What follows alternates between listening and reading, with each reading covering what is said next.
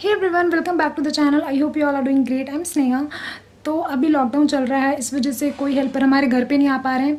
तो सारा काम आपको खुद करना पड़ रहा है। तो आज सुबह मैंने नोटिस किया कि मेरा किचन थोड़ा गंदा हो गया है। वैसे तो मैं रोज़ क्लीन करती हूँ बट अच्छे से डीप क्लीन आ, मैं नहीं कर रही थी। तो मैंने सोचा आज अच्छे से साफ़ करते हैं और रिकॉर्ड कर लेते हैं ताकि आ, मैं आप लोगों को दिखा सकूँ और आप लोगों को थोड़ा मोटिवेशन मिले मेरे वीडियो को देख के और आप लोग भी अपने घर को अपने रूम को अपने किचन को अपने हर जगह साफ़ सफ़ाई कर सकें तो इसलिए मैंने सोचा रिकॉर्ड कर लेती हूँ और इसी बहाने मेरा किचन साफ़ हो जाएगा, जो कि बहुत ज़रूरी है। तो चलिए वीडियो शुरू करते हैं।